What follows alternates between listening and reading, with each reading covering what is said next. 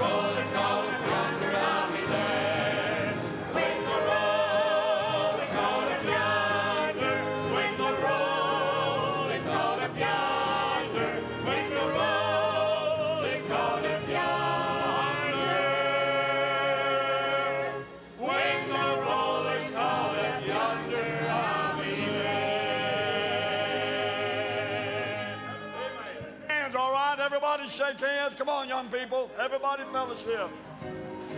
Right, thank you.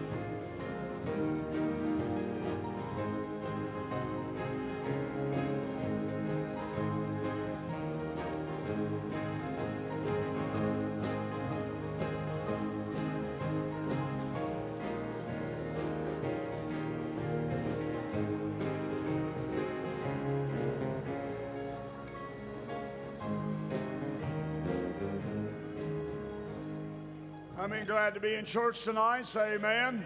Amen. We're, we're delighted to be back. I know you are. We appreciate you being faithful tonight. And uh, never done this in my life. I don't think I ever have, but we've got three visiting preachers here tonight. And I think we ought to have about three to 10 or 12 minute messages. So we want Brother Finley and Brother, brother um, from Silica Springs, Brother, Brother whatever, Brother Elder, and Brother Jones. I want you three men to get ready to preach for us. All right? That's what I want. You say, that's crazy. Well, we're crazy anyway, amen? So we're just glad to be saved. Let's let the youth choir sing.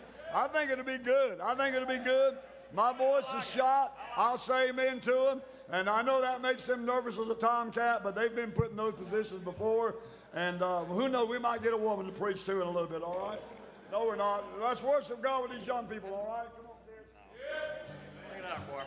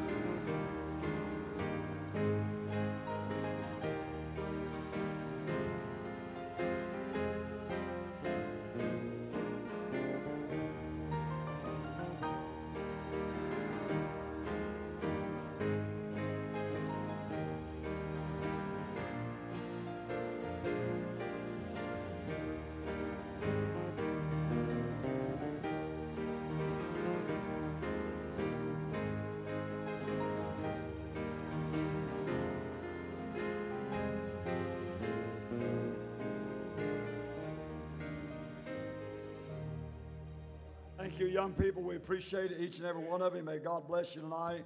I will say this to the young people and the youth choir and the parents of the building uh, that, of course, school starts back tomorrow morning, but we've received word that uh, there are entire family of children sick and not able to be here, so I doubt some of them will be at school tomorrow.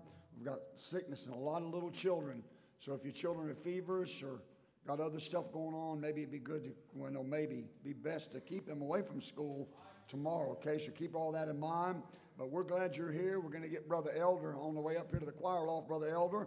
We're going to let these three preachers preach in a little bit, but right now, we want to make all the announcements of the week and want to tell you also we have church Wednesday night at 7.30. Be glad to have you Wednesday night at 7.30. And uh, we're going to get the, go ahead and have a seat, preacher, if you will. But uh, right now, let's have the ushers come on in. We'll get the regular tithe and the regular offering. I'm kind of looking forward, no kind of about I am looking forward hearing these men preach tonight. We're glad they're all here. Uh, y'all, y'all get ready with a song, all right? Y'all get in place and get ready with a song, and then we'll have our first preacher. And again, we've got sickness and adults sick, but we're glad a lot of you, most of you are here.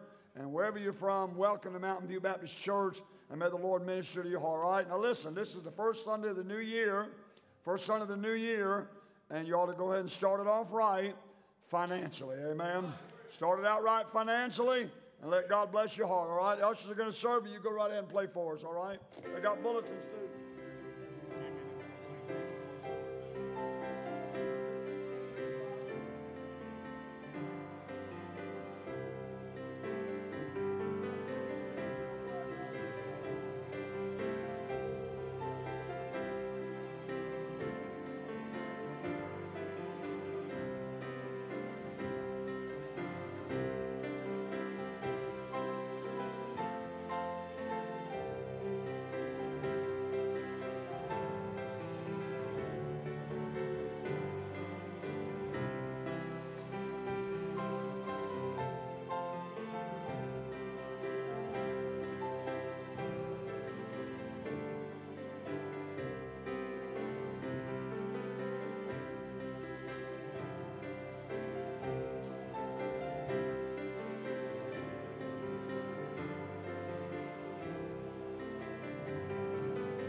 Dr. Love, could you come pray with us, Dr. Love?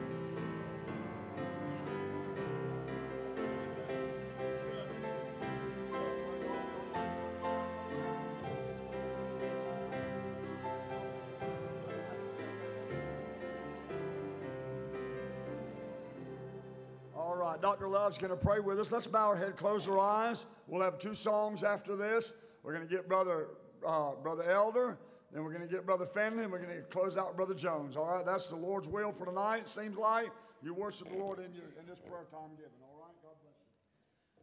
Father, we come before you on this first Lord's Day of the year, looking forward to that what you are going to do this coming year.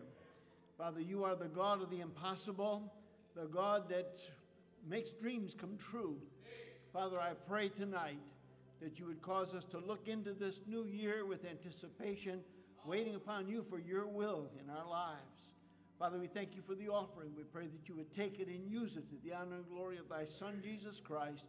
In his name I pray. Amen. Amen, amen. Thank you. Remember to pray for the school personnel as we start back the second semester. Hope to see everybody bright and cheerful on, on tomorrow, all right? Y'all ready? This is Brother Jimmy Owens, and let's see, yeah, uh, boy, yeah, all of his boys, all right? And then we got Bro- Brother Andrew on the, uh, on the, that's a mandolin? That's a mandolin, all right? You worship us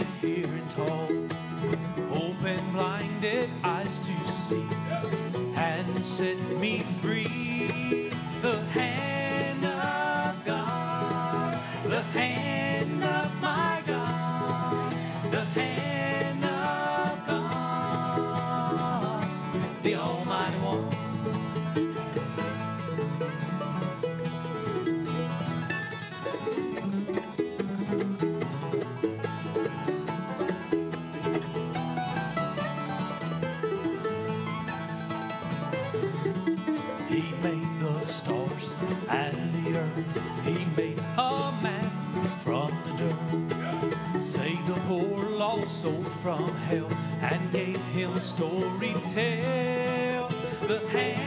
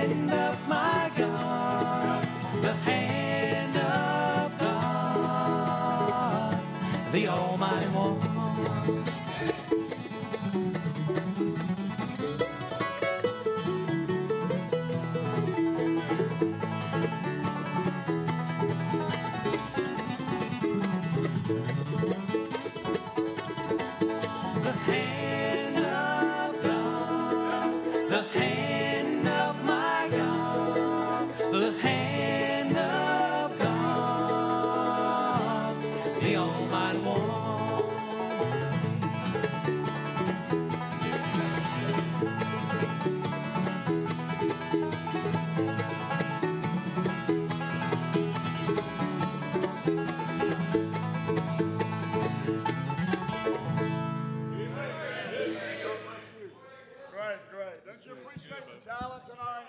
I'm serious. I appreciate the talent. I really do. Y'all ready? All right, Brother Galloway and Malia and Derek, and then they'll uh, finish out. And again, let me say to all of you, please be faithful this Wednesday night. Love to have you. If you're visiting with us tonight, we have service every Wednesday night, 7:30, except inclement weather or something like that. We'd be honored to have you for the Wednesday night service. All right, y'all ready? All right, come on. Right after this, picture's coming.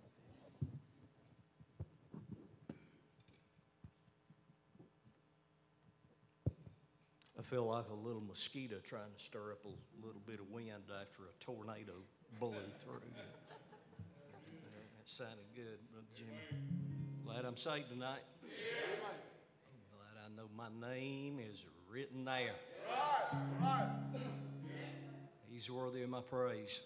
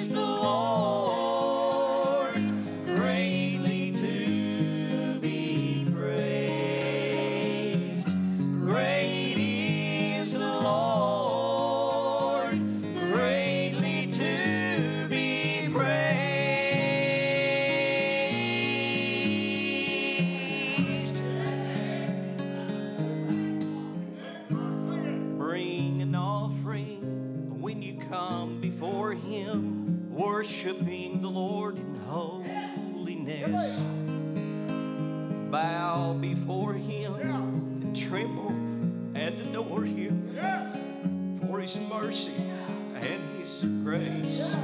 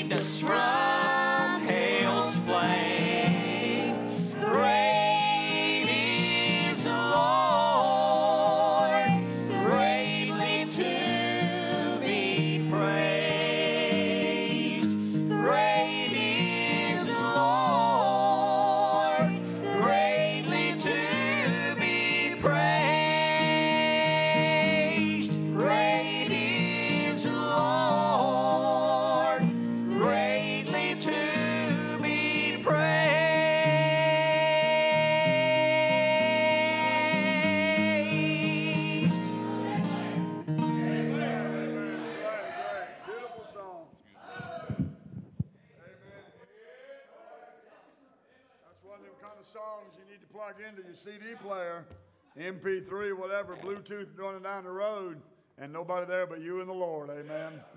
Worship Him in the beauty of holiness. Got a great crowd here tonight. In spite of, I'm telling you, this list I have, you wouldn't believe it. We have whole entire families out tonight because of sickness, but we're glad you're well and glad you're here. I appreciate friends in the gospel, I really do. This man's our friend, and I'm glad he's our friend.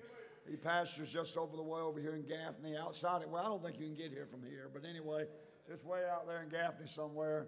But this is Brother Billy Elder, and he's going to give us about 10 minutes, and then we're going to have a second preacher, and then we'll have a third, all right? Come on, Brother Elder. God bless you. I'm, I'm going to go ahead and sit up here just so I can kind of kind of say amen to him, all right? Amen. Amen. Thank Turn, you so turn, much. turn your mic on. Amen. Amen. And I want to tell you how much I appreciate the opportunity to be in the pulpit tonight. It is a blessing uh, to have another man have enough confidence in you to allow you into his pulpit, and I thank God for that. I thank God for the ministry here at Mountain View Baptist Church. Well, y'all are a blessing to those around you. First Corinthians chapter number 11. If you have your Bible with you, we're going to be starting down in verse number one. I just want to point out a few things unto you. If I can figure out this crazy thing here, amen. Let's see. Let's see. Now you should be. Oh, we're good. Good. Yeah, you're, you're good. Simple thing called a switch. I haven't learned it yet. Amen. 1 Corinthians chapter 11, I want to thank the Lord for the direction that He gives. This book is full of instruction that is profitable. And when we get into 1 Corinthians 11, it is dealing with order. As you get towards the end of the end of the chapter, it's going to deal with the ordinance. But at the very first of it, it's going to deal with an order. In the verse number one, be followers of me, even as I also am of Christ. I think about how that there's an order set up and how that you ought to follow the preacher. Amen. Not only are you following the preacher, but if the preacher's following the Lord, you're also following Christ in verse number one. Also, you'll notice that the ordinances is mentioned that they should be followed in verse number two. Now, I praise you, brethren, that you remember the, me in all things and keep the ordinances as I delivered uh, from uh, delivered them to you. You know, of course, in a Baptist church, there are two ordinances. That is the ordinance of baptism and also the ordinance of the Lord's table. There's some that say that you ought to include the ordinance of foot washing. They've never dealt with Baptists. If we need anything, we need mouth washing. Amen? I've seen some of you post on Facebook. We need mouth washing more than anything now. But as we look through this, we notice that there's also more into the order in verse number three about how wives, you ought to follow your husbands. In verse three, but I would you know that the head of every man is Christ, and the head of the woman is the man. Now, listen, I want to make, put everything in the proper order. I know the man is the head of the house, but the woman is the neck, and she'll turn you every which way but loose. Amen? And that's why the women guide the house, as the Bible describes. We go through the, where there's also a godly order that's put in, a godly nature. Uh, as far as nature is concerned, an order that's put there in verses 4 through 16. How that we know that there's a certain uh, order as far as uh, who can cover their head. That's with the hair. Amen. Uh, we know it's a shame for a man to have long hair, but as you get into the last half of this chapter, it's going to deal with the ordinance of the Lord's table. Now, I'm not going to deal with it specifically, but I wanted to give you a background with what's going on up until now. I believe that the steps of a good man are ordered by the Lord. And I believe that everything the Lord has for you is decent and in order, even the times when you think your life is in disorder. Now, when you go into this, starting at about verse number 17, you'll find out that there were certain divisions in the church at Corinth. And I find that most churches have this to some degree. I honestly believe that we pastor three different churches inside our uh, congregation. We have some that are with us, we have some that are against us, and we have some that just don't know what's going on. And when you look at this, how Paul addressed these divisions, he was fixing to start this thing of the order of the Lord's table. And as he started to describe it in verse number 23, you'll see how that he says, For I received of the Lord that which also I delivered unto you, that the Lord Jesus, the same night in which he was betrayed, took bread. Now, I don't know about you, we uh, tend to look at a fellowship or a meal as something uh, that's a, a, time for joy. It's a time for enjoying one another. It's a time of, uh, it's not a sorrowful thing. But the night that our Lord was betrayed, he took bread. Not only did he know what was fixing to happen, and yet he decided to fix a table there in the midst of his enemies. But if you'll look in the next verse, and when he had given thanks. Now, I, I, don't know about you, but my, my life is not always sunshine and rainbows. And knowing that this is not our home, Oh, while we're just a passing through, my treasures are laid up somewhere beyond the blue, gives me a sense of joy that goes on beyond what my happiness is. You can have joy and not be happy about the circumstances. Happiness is based on happiness. Many of you know that my wife went on to be with the Lord some five months ago. And I find that the Bible says, in all things, give thanks. Now, listen, there are things that you can look at and think, man, this is going to kill me. But the Lord have good intended for you. Um, several years ago, my wife and I, we experienced this thing of a miscarriage.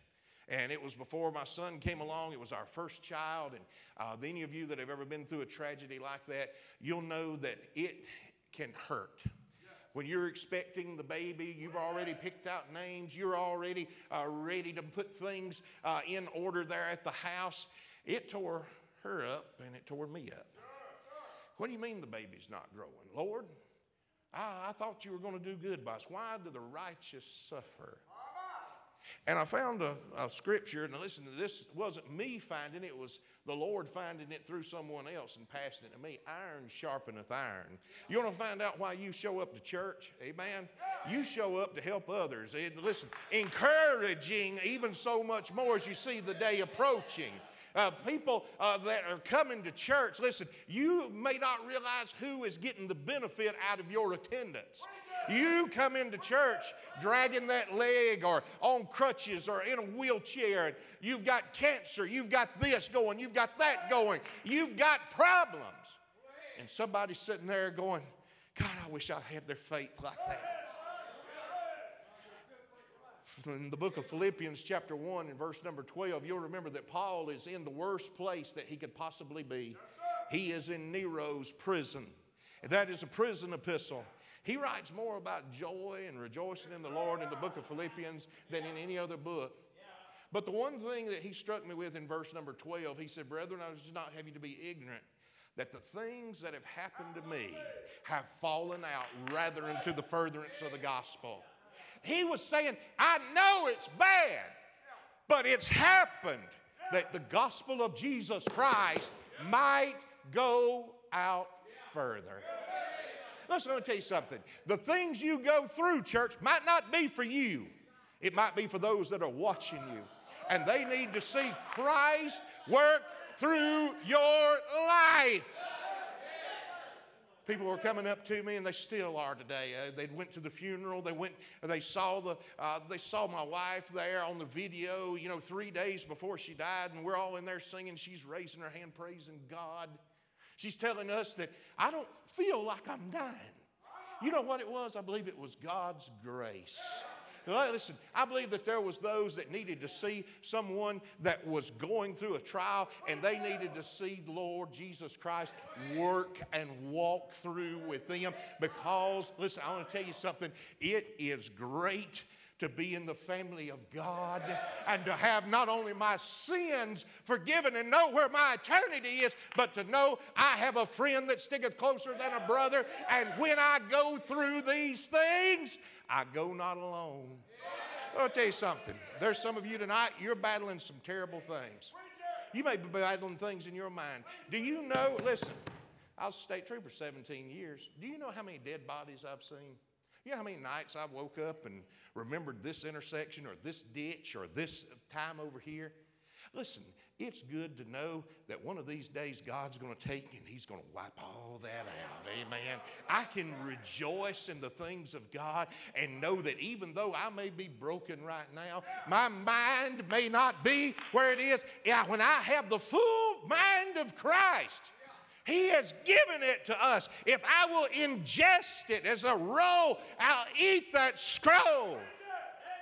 Man, what a day that will be when this is taken away and we see exactly why we went through all those trials, all those troubles. You know what? It was that God could get the glory out of us. Peter said it best, I believe it was in 1 Peter 4. He said, Beloved, think it not strange concerning the fiery trial which shall try you, as though some strange thing had happened unto you. But rejoice insomuch that you are partakers of the sufferings of Christ. God bless you. Amen. Thank you so much, brother. Take them. Yes. sir. If, if that wasn't worth your drive here, I'll buy your gas on the way home. That ought to have been worth your trip here. Thank you. Thank you. Five months ago, five months ago, said goodbye to the dearest on earth to him. But yet God's grace allowed him strength to come up here and preach and give us God's message.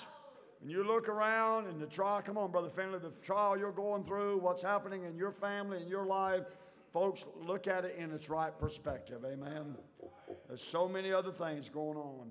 I appreciate this preacher, his family, showing his family to stand. Do, do you know, do, you, do, do all the Mountain View people know who his family is? Y'all stand up, all right? This is his son. That's his son in the Burgundy. And uh, yes, and uh, uh, in laws over here, daughters, uh, grandchildren. So uh, he's got a real connection to Mountain View. Thank you so much.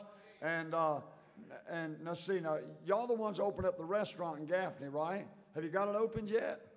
And but when you do, right, according to him, like what he told me the other day, you're going to be giving out coupons for members only, something like that.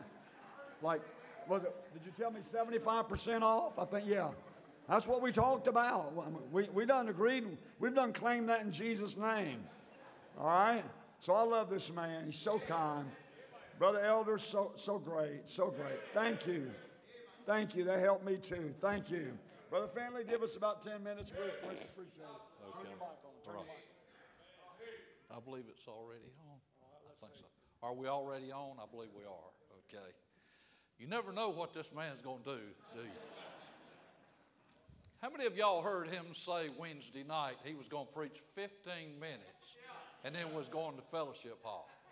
That didn't happen, did it? So don't you expect me to do that. All right, I'm going to condense this little old text found in Matthew 14. And uh, I'm going to read verse, beginning in verse 22. Thank you, Billy. Uh, I tell you, if I've ever seen God's grace working in a man's life, uh, when his wife uh, went on to be with the Lord, it's in Billy Elder. Certainly is. Thank you, church. In verse uh, 22 in Matthew 14, the Bible says, And straightway Jesus constrained his disciples to get into a ship and to go before him unto the other side while he sent the multitude away. And when he had sent the multitude away, he went up into a mountain apart to pray. And when the evening was come, he was there alone. But the ship was now in the midst of the sea, tossed with waves, for the wind was contrary. For just a few moments, I want to think with you on the thought that, uh, tonight on being in the storms of obedience. Most of us uh, don't ha- are not Bible scholars, including myself tonight, but everybody knows a little bit about Jonah. Jonah in chapter 1 received a call from God to go to Tarshish and to preach a message to Nineveh that in 90 days, if you do not repent, I'm going to destroy the whole city. Jonah disobeyed God. He bought a ticket, got on a ship, and sailed to Tarsus thinking he could run from the presence of the Lord. And he disobeyed God, and when he got on the ship, he was later thrown overboard and swallowed by a whale. I heard it said that because he disobeyed God, God gave him an all expense paid three days and three nights in the belly of an underwater hotel called a whale. And anyway, it's a whale of a story, either way you look at it tonight. But, but he got in trouble with God because he disobeyed him. I want to tell you tonight, and I want to go on record as saying tonight, that if we disobey God, there's a storm going to come your way tonight. But this story here is entirely different. Did you know that you can be uh, here at the church every time the doors open? You can be in Sunday school. You can be in worship service. You can go out and testify and witness. You can give your tithe. And you still sometimes are going to get in a storm. They're called storms of obedience. If we obey God, you're either coming out of one, in one, or fixing to go into another one. I want to tell you tonight there are storms of obedience. I want you to notice, first of all, that the storm was planned. Jesus had just taken five loaves and two fishes and fed 5,000 men and also women and children, probably over 10,000. And no sooner had they come off that mountain that Jesus said to his disciples, I want you to get into a ship and I want you to go to the other side. And when they did that, the Bible said they got in a storm out in the middle of the sea. I want, you I want you to understand tonight that God has storms planned for you and I. You may not understand it, but I want you to understand it that when you get through it, you'll be more like Him when you get on the other side. God has storms planned for us. But then I want you to notice that the, the Bible said that the Savior was praying for them. The Bible said that he went up into a mountain apart to pray. There was observation. Mark chapter 6 says that Jesus saw them toiling and rowing. You know what the devil tries to tell you and me when we get in our storms? You've disobeyed God. You've sinned against God. That might be true, but it might not be true. And he tells us that God doesn't know where you are. Listen, there's not a second, a minute, an hour of a day that He does not know who we are and where we are tonight. He sees us in the storms of obedience in our life. But not only observation, the Bible says intercession. The Bible said that He went up there to pray. Now, I want to tell you something tonight. I appreciate your prayers tonight when I'm having my storms. But it really makes me feel good tonight that the Son of God is praying for me in the midst of my storms tonight. The Bible said that he went up there to pray. Hebrews 7:25 says that he ever lives to make intercession for all of us tonight. I don't know what you're going through tonight. Some of you are going through things that only you and God know about. But listen, you're not in it by yourself tonight. It might just be one of those storms of obedience that God has planned for you. Not only was the Savior praying, but the Bible said also that the Savior was present with them in their storms. You're not going to stay in it forever. The Bible said He came to them. The Bible said He walked on the water. I don't know any other man that ever done that. The Bible said, What manner of man is this? That even the wind and the seas obey his voice. The Bible said that he came in victory. He's walking over the very thing that was scaring the life out of them. I'm saying that he walked in victory. But I want you to notice that their vision was blurred. They didn't even recognize him, they thought he was a ghost. They said it was an apparition. You know, did you know when we least recognize him in our walk with God is when we get in these storms of life? Folks, I want to tell you something tonight. It's, start, it's time that we start living by faith and realize that He will never leave us nor forsake us. The Bible tells us that the Savior will be present in your storms, but also the saints are being perfected. You know what happened here? The Bible gives us a story of how that Jesus said to them, Why are you so afraid? You know why? when he, when, he, when he raised that question and he told them not to be afraid, he wanted them to denounce their fears. There are a lot of you here tonight that are scared half to death because of what you're going through. The Bible says in John chapter 10 that we have a shepherd who will, the Bible says that we're in his hand and we will never perish, neither can any man pluck us out tonight. He wants you to denounce your fears, but he wants to develop your faith. Now, Simon Peter says, He says, Lord, bid me to come unto thee on the water. And Jesus uh, said, Come, and gave him an invitation. And when he began to walk, he got his eyes off Jesus and he began to sink. In these storms of obedience, exercise your faith. Be totally obedient and keep your eyes on him. I'm telling you tonight that he's trying to make us more like himself. Nobody ever did what he did. Nobody is as great as he is. What sets him apart from all the other so called religions of the world? He's the only one that's ever risen from the dead. And he lives in the hearts and lives of all of his children. I want to quickly mention to you the Savior should always be praised. The Bible said that when Jesus got on board, the wind ceased. They acknowledged his power. And then the Bible said they worshiped him, they adored his person. I want to tell you something my heart and life is empty when I don't worship. I don't know what's happening to these church members today that you got to beg them to come to the house of God. You realize who we're coming here to meet today? We're meeting the one that bled and died for us and rose from the dead for us. You might say, Preacher, I'm going through a storm right now.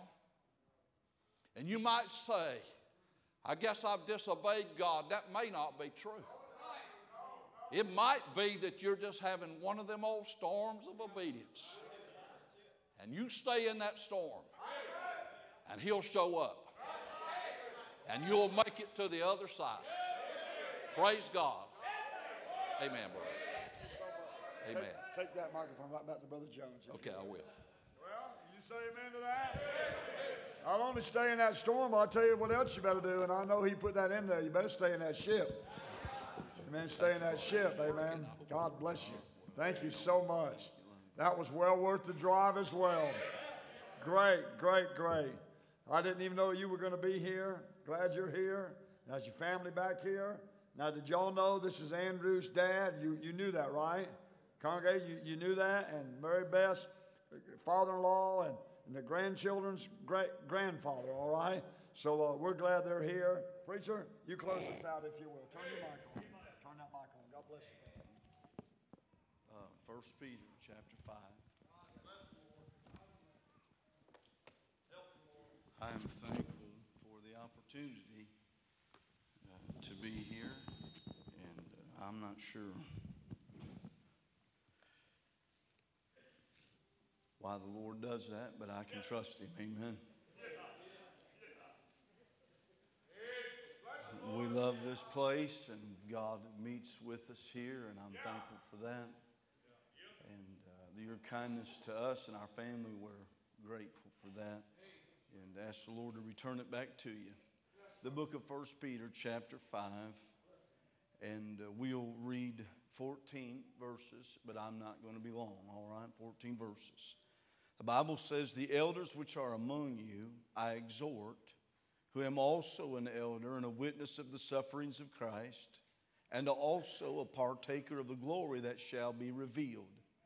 Feed the flock of God which is among you, taking the oversight thereof, not by constraint, but willingly, not for filthy lucre, but of a ready mind, neither as being lords over God's heritage, but being ensamples to the flock.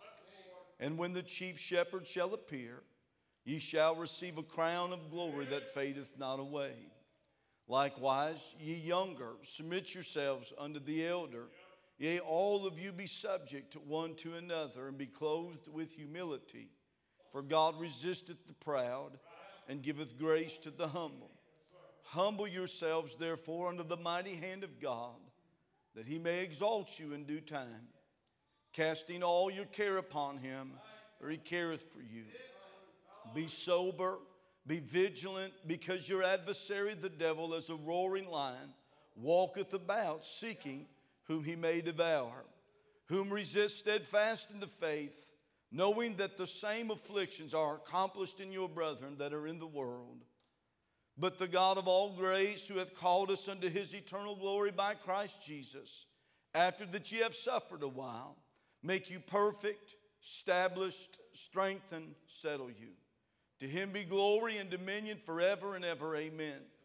By Silvanus, a faithful brother unto you, as I suppose I have written briefly, exhorting and testifying that this is the true grace of God wherein you stand. The church that is at Babylon, elected together with you, saluteth you, and so doth Marcus my son. Greet ye one another with the kiss of charity. Peace be with you all that are in Christ Jesus. Amen. A while back, I preached out of the book of 1 Peter, chapter 1, and I preached the concentration during our suffering. Uh, the book of 1st and 2nd Peter is written to folks that are suffering. Uh, their suffering is much different than our suffering. We suffer when the air conditioner uh, goes out, but their suffering is living uh, in them. They're, they're, they're worried about uh, whether they're going to survive the night or not for the cause of Christ. But whatever it is that you're suffering with, the book of First Peter has those answers. Uh, we looked at the concentration during our suffering. The Holy Ghost reminded this church that took Jesus' blood is the concentration. We're to focus not on our trial, but rather the blood of Christ and all of what he went through to deliver us. In chapter 2, he tells us about our, our uh, conduct, chapters 2 and 3. Our conduct during our suffering. Uh, we're not to change.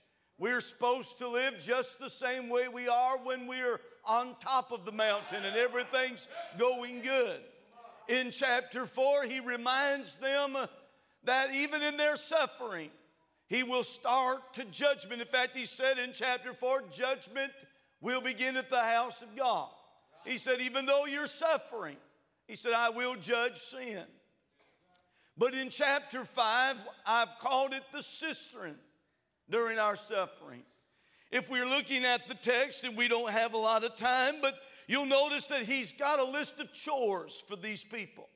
He tells them in chapter 1 those who are above, those who are leading the church, that they're to live a life that those who are watching can uh, uh, have it as an example. There's to live above all of what uh, this world uh, is trying to tempt them with. And he said to them, feed the flock of God. He said not to do it for filthy lucre's sake. Look in, look in verse 3, tells them that they're not to be lords over God's heritage, but to be in ensamples. Then he tells them in verse uh, 5, likewise, ye younger, submit yourselves unto the elder. Look at this. Yea, all of you be subject one to another. I don't know how you would start out a letter to folks who are suffering, but this is not my idea of how to end a letter written to people who are suffering. Uh, but yet, God doesn't ease it up. He lays it on them. He tells them to feed the flock of God. I know that you're suffering. I understand that you're scattered. I understand society uh, is fed up with you. He said, But I want you to remember there's work to be done. He said, Feed the flock of God. He said, Submit yourselves one to another. I'm going to tell you, that's tough to do when you're suffering.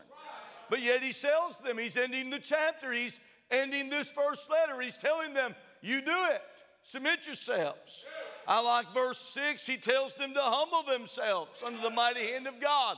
I like to humble myself when everything's going good. I can sit back and say, Yes, sir, God's been good to me. But when I'm going through the tall grass, uh, when I'm heavy laden, it's hard to submit yourself or humble yourselves under the mighty hand of God.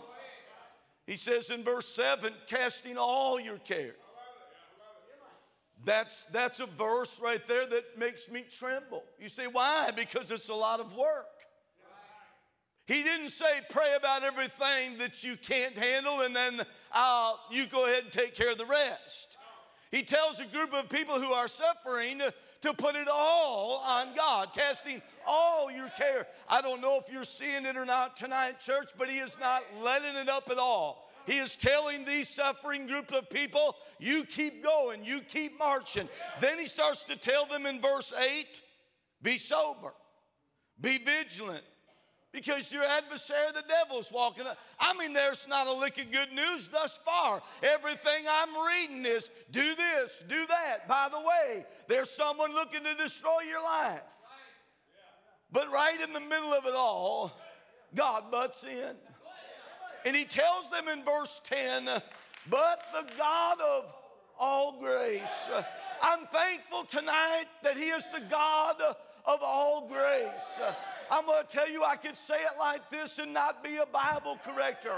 He is the God of every kind of grace. For the next four minutes tonight, I want to preach on this thought the God of all grace. I want to say this, this evening that He is the God of saving grace. I'm glad tonight that He is the God repentance. I'm glad tonight that He is the God of saving grace. That saving grace is God takes an undeserving sinner whose life is stained with dirty living and washes them in his blood. He is the God of saving grace. I'm going to tell you, I'm thankful tonight to tell sinners that they're nothing without God, that they've got hell waiting for them. but I'm glad tonight to report to them that there's a God in heaven who saves their ever dying. I see He's the God of saving grace. I'm going to bust this up, I'm sorry. He's the God of saving grace. I'm going to tell you, grace is unmerited favor. I don't know how you define it, but I know how the Bible defines it unmerited favor.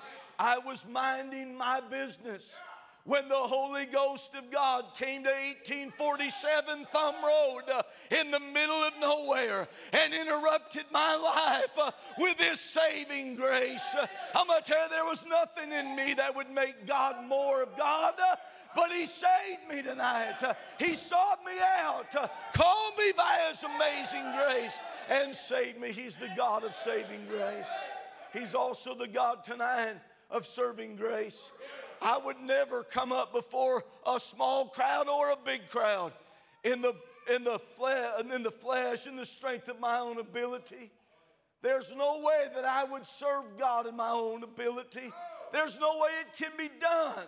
Uh, there's not enough talent. Uh, there's not enough commentaries. Uh, there's not enough uh, uh, songs to be able to build up the crowd. God can do it, though. Uh, he's the God of serving grace.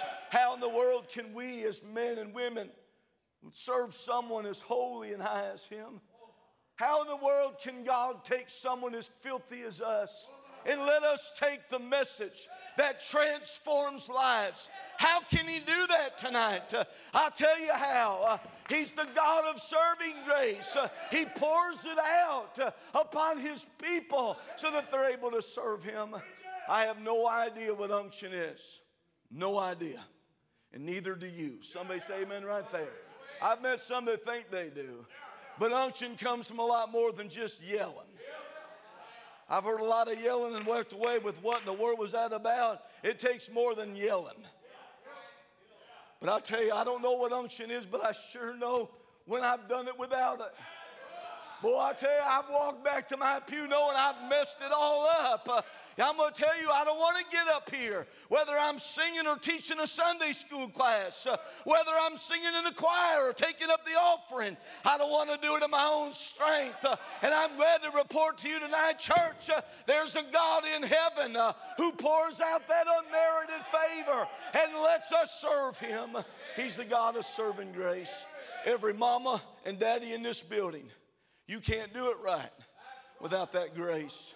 Every Sunday school teacher in this building tonight and listening by way of internet, you can't do it without God's grace. He's the God of serving grace. Paul said, I am what I am because of the grace of God. He's the God of serving grace. He's the God of suffering grace. I don't know how in the world some people go through the things that they go through. I heard it tonight. I've heard it tonight. I, God has kept me from a lot of things. And, uh, but I've, I've gone through the deep grass too. But I'll promise you this though. There's folks that have gone through a lot deeper valleys than I'll ever see thus far. And I don't know, I don't know how some make it through. I've pastored some who really went through it. I watched them, boy, they, they've buried two of their children in one year. Took them out to the graveyard and put them in the ground. Good kids, loved the Lord. Like the preacher said, it was one of those that they weren't doing nothing wrong. There was no sin in their lives. And boy, I tell you, as they walked through that valley, that Sunday morning, I was praying for them and said, Lord, you know where they're at. You know what they're going through. And here they come to the doors of the house of God. That Sunday morning, sat in the pew, sang Amazing Grace, how sweet the sound that saved a wretch like me. And I've watched other ones go through something small and simple. Boy, they get mad at God and blame God for everything. They never will darken the door of a Baptist church again because they went through it. And I thought to myself, what's the difference? How does one go through such deep water and one go through shallow water and one fall out and the other one stay faithful? I tell you how. The God of all grace pours out that suffering grace. I don't know. I don't want to die a quitter. I don't want my kids to have to walk past me when they bury me and say, Dad did the best he could, but he just couldn't finish. I want them to look at my casket and say, Dad wasn't a quitter. He stayed with it. And I'll promise you this, church, there ain't but one way we're finishing this race. It's if the God of all grace pours it out on us.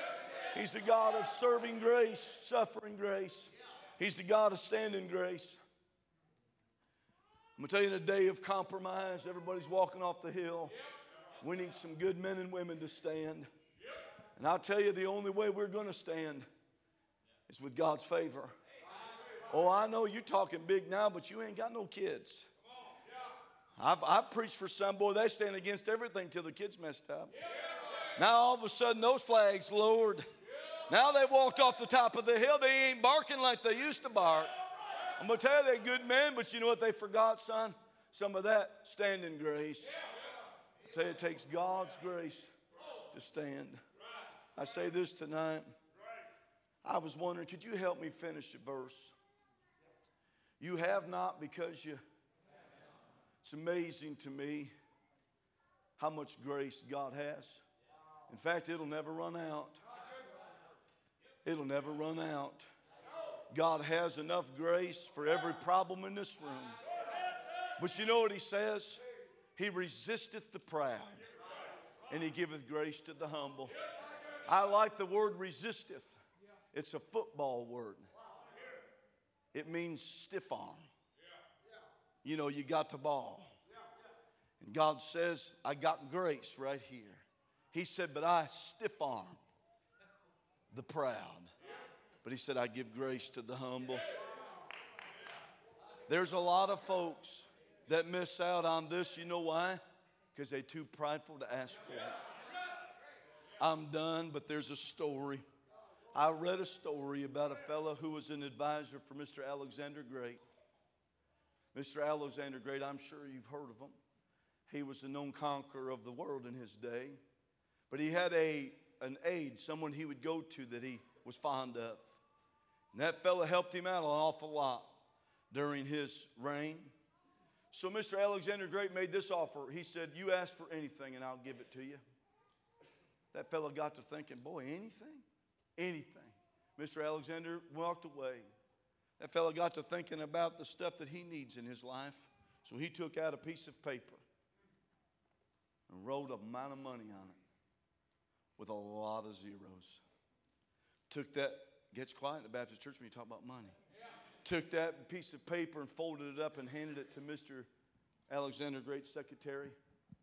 He looked at that, opened it up, and saw all those zeros and said, How dare you insult Mr. Alexander this way? He gave you a legit offer to ask for anything, and you asked for this. He said, I won't give it to you until I talk to Mr. Alexander myself. So that secretary went in and knocked on the door. Mr. Alexander was sitting at his desk. He said, Come in. He said, Do you remember the fella that you gave the invitation to ask for anything? He said, Yes. He said, This is what he's asked for. He handed him the folded piece of paper and he opened it up and saw all those circles, them zeros, and a smile come across his face. He said, My, that's a lot to ask for, but it's not a lot for Mr. Alexander to give. Give it to him. I was wondering, what do you have that's a lot to ask for? It may be a lot. You may need the God of all grace to pour out some of the most extreme requests. But you already said, you have not because you. And here's what he said it might be a lot, but it's not a lot for him to give. He's the God of all grace. Thank you, preacher.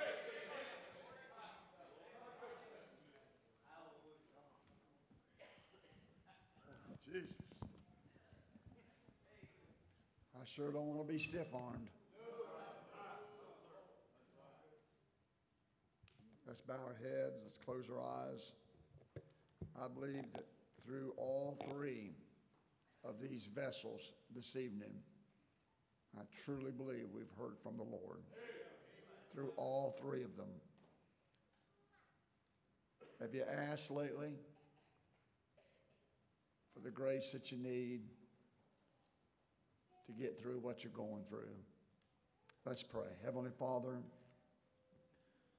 bless, Lord, as we sing a song and take a few minutes to not be in such a hurry. Lord, I know there's so many needs in this congregation tonight. And I ask you, Heavenly Father, to specifically and personally minister to the hearts and lives of people right now. Minister as only you can. Tell us what we need to do. Tell us how we need to respond. Give us grace, Lord, and strength and humility to ask of our Heavenly Father what we need. Help us tonight. Thank you for these preachers. Every one of them, Lord, it's been such a blessing. And I pray you'll bless them as they leave here tonight. Bless as we sing now. In Jesus' name, amen. Page 371. There's several here all over the altars.